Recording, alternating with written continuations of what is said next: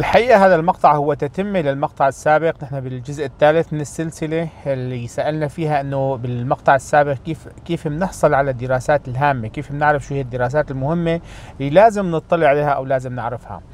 فذكرت عدة طرق حضيف عليها طريقة هامة جدا حبيت أفردها بفيديو لحالها هي قراءة الجايد لاين قراءة التوصيات اللي بتصدر كل فترة بمجال معين. هلأ مثلا ارتفاع الضغط من فترة سنتين ثلاثة آه، صدرت توصيات عن ال American Heart Association بتقارب موضوع ارتفاع الضغط وبتعطي توصيات محددة بالأرقام وبالأدوية المستخدمة.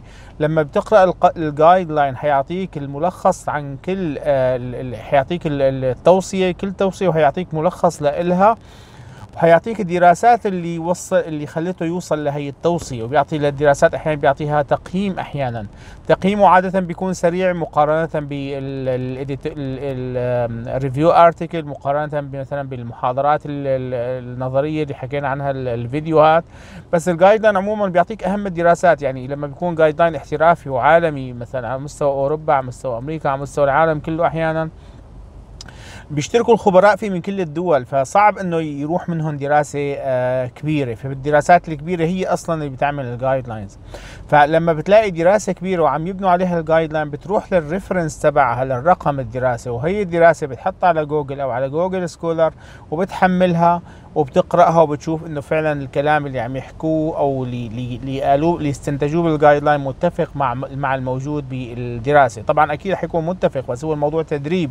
الواحد يعرف آه، كيف عم يصير الأمور.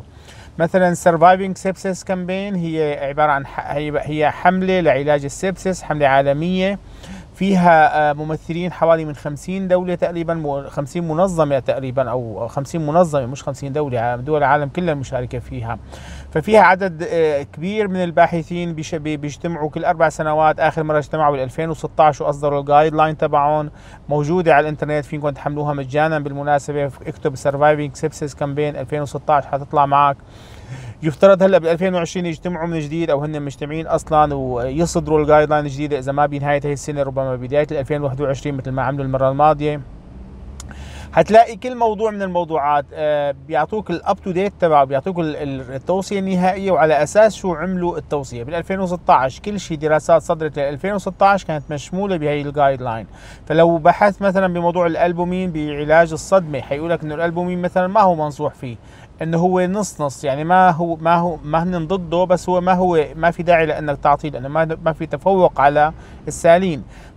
فبيذكر لك إياها بالتفصيل بيعطيك شو الدراسة اللي صدرت وعام آه عام كذا وبيعطيك الدراسه الدراسات القديمة. بيلخص لك كل شيء في دراسات صارت بالمجال. مثلا موضوع التوصية بعدم استخدام ال Voluven اللي هو starch بيعطيك الدراسات اللي اللي أثبتت ضرره أو عدم فائدته. فهذا الشيء موجود بالمناقشة ال recommendation كل recommendation بيطلعوا بيحطوها بيحطوا تحت نص حوالي نص صفحة تقريبا أو ربع صفحة. بيلخصوا لك فيه ال evidence بيلخصوه تلخيص. ما بيناقشوا كثير بس بيلخصوه. بس على الأقل بيعطوك شو هي الدراسات وال meta-analysis اللي اعتمدوا عليها. أنت بتروح على ال reference بتاخذ هي الدراسة أو ال meta-analysis وبتنزلها وبتقرأها وبتتفق وبتشوف شو شو مكتوب فيها.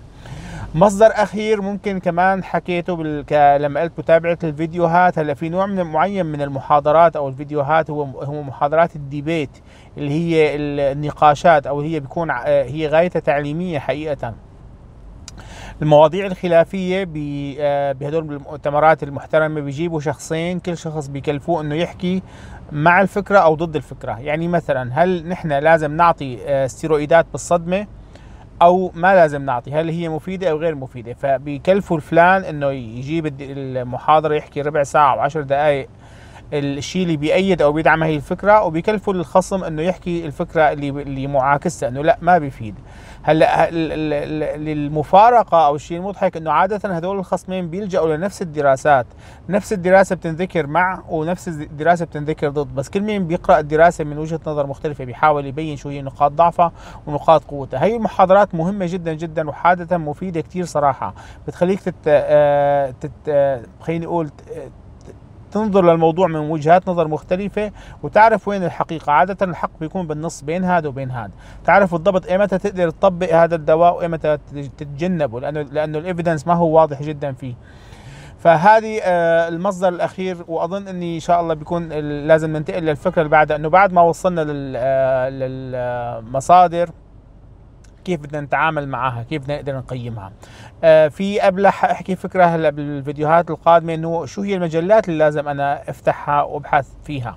هي مهمة جدا جدا. السلام عليكم.